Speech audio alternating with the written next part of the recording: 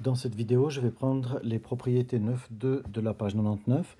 Je rappelle d'abord juste ce que sont les combinaisons simples. Donc c'est le nombre de possibilités de prendre k éléments parmi n sans tenir compte de l'ordre, pas de répétition et on prend pas tous les éléments ou tous les éléments, on va y venir tout de suite.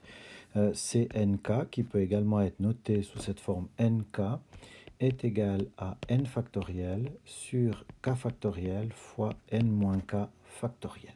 Alors on pourrait justement prendre d'abord la possibilité d'avoir pas d'ordre, pas de répétition, mais de prendre tous les éléments, donc de prendre CNN ou NN comme ceci, et en fait on va trouver que c'est 1, dans le sens où si j'ai une classe de 18 personnes et que je veux choisir une délégation de 18 personnes, eh bien j'ai qu'une possibilité, c'est de prendre tout le monde.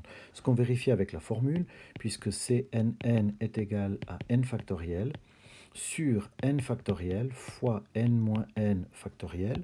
Alors simplifions directement les n factoriels et il me reste 1 sur 0 factoriel et 0 factoriel est égal à 1.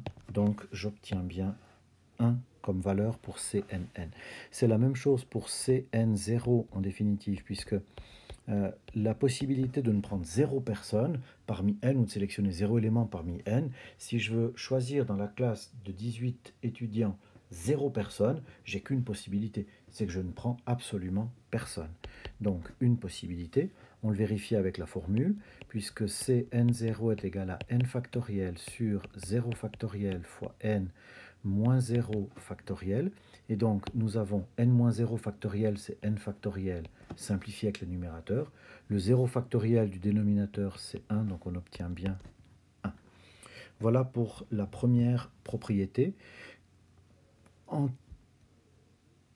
prenant quelque chose de tout à fait semblable, nous pouvons nous dire CNK, c'est le nombre de possibilités de prendre k éléments parmi n, donc n factoriel sur k factoriel fois n moins k factoriel.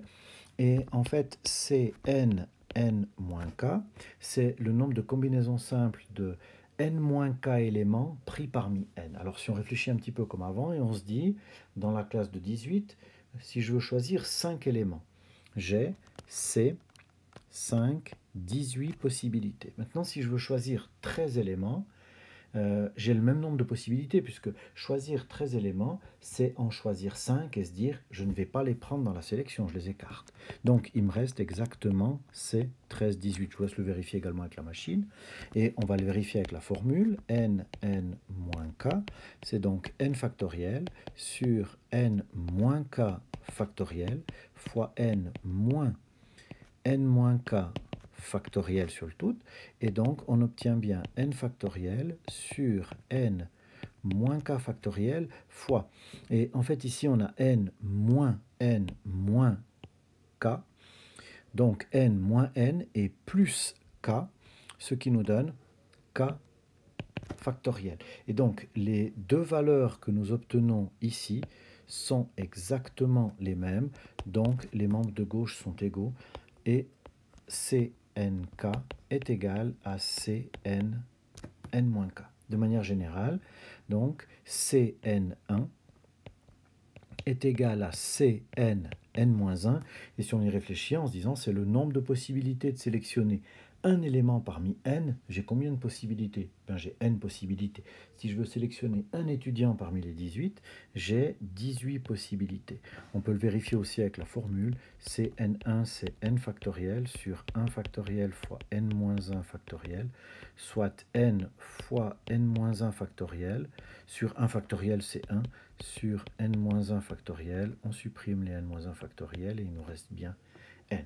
Voilà pour ces propriétés 9.2. Merci pour votre attention. Je vous souhaite une toute belle journée.